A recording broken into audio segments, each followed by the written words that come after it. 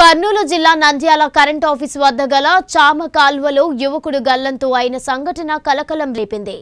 స్నేహితులతో కలిసి ఈత కొడుతూ చామ కాల్వ ప్రవాహంలో గల్లంతు అయ్యాడు.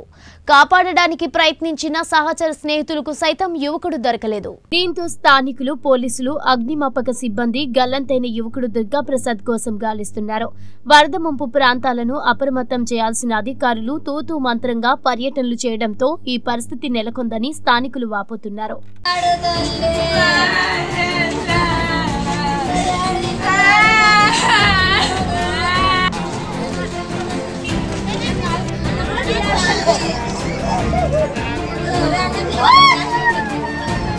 Google Google, Google, Google, Google, Google, Google, Google, Google,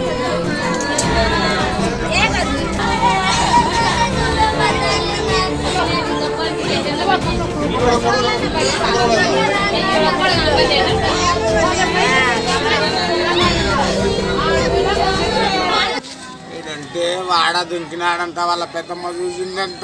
ఏడ ఉన్నాడో నా కొడుకు తాగేది. ఏడన్నాడని ఎదుగులాడాలా ఏ కథ మాకే దిక్కు తెలియదు పని చేసుకుంటుంటే సార్ మంచం పెట్టాను నేను సార్ మంచం తెచ్చి బయట పెట్టినాడు నువ్వు పోయినాడు సార్.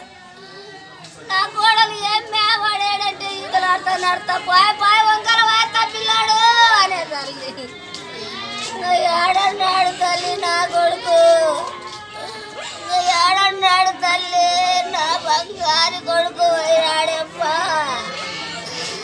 నా కొడుకు వేలు తెచ్చిచ్చిన కానీ పది రూపాయలు అడిగేది.